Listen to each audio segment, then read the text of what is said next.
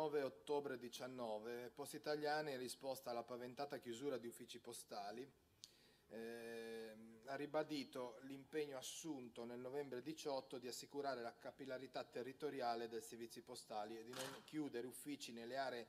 meno densamente abitate, in particolare nei comuni con meno di 5.000 abitanti. L'azienda precisa inoltre che in alcune grandi città con numeri di abitanti superiori a 100.000 eh, ad alta densità abitativa e capillare presenza di uffici postali è stato avviato un progetto di rimodulazione delle presenze degli uffici in aree urbane. Gli uffici coinvolti sono esclusivamente uffici posti con esiguo numero di operazioni effettuate al giorno con presenza di altro ufficio limitrofo entro 2 km. Per quanto concerne il territorio Ligure, i referenti locali di poste italiane, contattati informalmente in data 14 eh, 14 ottobre 2019 hanno riferito quanto segue. L'elenco degli uffici che verranno chiusi non è ancora ufficiale e se ne sta discutendo a livello regionale, fra pochi giorni sarà comunicato ufficialmente. La problematica è comunque stata oggetto di incontri con il, sindaco, con il sindaco di Comune di Genova e con le organizzazioni sindacali. Nei giorni scorsi anche il Presidente Totti ha chiesto un incontro a Poste Italiane sul, sul punto che però non si è ancora svolto. Al momento è prevista la chiusura di sette sportelli sul territorio del Comune di Genova, che non vi leggo per non, dire, perché immagino che eh, l'interrogante li conosca già, se non è così li leggo. Okay. Eh, chiusura, la chiusura degli uffici eh, non comporterà nessun esubero di personale, quindi non verrà sacrificato nessun posto di lavoro. Si tratta di una riorganizzazione degli uffici finalizzata a aumentare l'efficienza del servizio e non a tagliare i costi di personale. Queste qua sono le parole di Poste Italiane, non, non le mie, che vi riporto. Gli uffici che verranno chiusi sono quelli con pochi operatori, aperti solo mezza giornata e in genere eh, poco frequentati. Gli operatori verranno spostati in altri uffici che garantiranno un orario di apertura per l'intera giornata e verranno quindi potenziati gli uffici maggiormente utilizzati dall'utenza. Le zone in cui si trovano gli sportelli in chiusura sono servite ampiamente da altri uffici situati al massimo nell'arco di un chilometro la chiusura dello sportello multietnico di Via Dante, conseguenza della scarsa affluenza di utenza, in ogni caso nell'adiacente ufficio di Poste Italiane, sito nello stesso edificio di Via Dante, potranno essere effettuate tutte le operazioni che attualmente vengono gestite nello sportello in chiusura. Vi è inoltre un altro sportello multietnico in piazza Cavour, zona Porto Antico, che registra un numero molto maggiore di accessi e che verrà mantenuto aperto. L'azienda ha evidenziato che gli uffici multietnici sono, sono uffici pensati per favorire l'integrazione e rispondere alle esigenze degli immigrati. Agli sportelli si trovano operatori che parlano arabo, spagnolo, francese,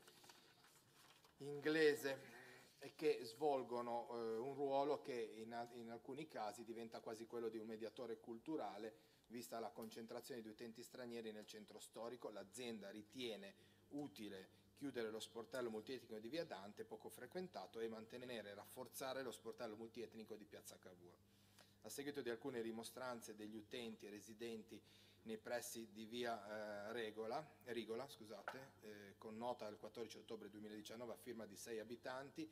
e dell'apparizione con me il 28 ottobre 2019, i quali lamentano la chiusura degli uffici postali di quella zona, facendo rilevare che gli uffici postali più vicini non sarebbero di, eh, di, di agevole accesso, specie per una popolazione anziana, questo settore si è nuovamente messo in contatto con il referente locale di Poste Italiane per avere aggiornamenti, cioè quindi il settore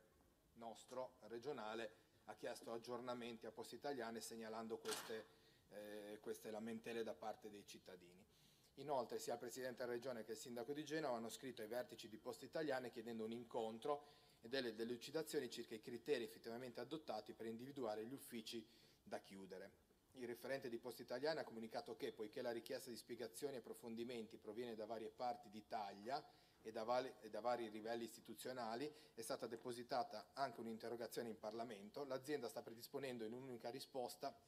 un'unica risposta ampia e valevole per tutti i casi in cui darà motivazione delle sue scelte. Purtroppo non sembra che ci siano margini per una modifica dell'attuale piano di chiusura degli uffici. Poste Italiane tuttavia prevede di utilizzare una figura particolare di portalettere che su richiesta dell'utente si recherà al suo domicilio per consentirgli di effettuare diverse operazioni, compresi i pagamenti a mezzo POS. Il servizio così come attualmente previsto è a pagamento, ma non sembra essere esclusa la possibilità di aprire un tavolo per negoziare quantomeno delle riduzioni tariffarie in presenza di particolari condizioni. Si evidenzia poi che i bollettini possono essere pagati anche presso i tabaccai. Poste Italiane sta lavorando ad una campagna mediatica a livello nazionale per illustrare le iniziative che verranno messe in campo per favorire i cittadini con maggiore difficoltà. A questo aggiungo che ormai da tempo l'ex Ministero delle Poste e Telecomunicazioni è confluito nel Ministero dello, dello Sviluppo Economico, a cui forse sarebbe bene, visto che le, eh, le,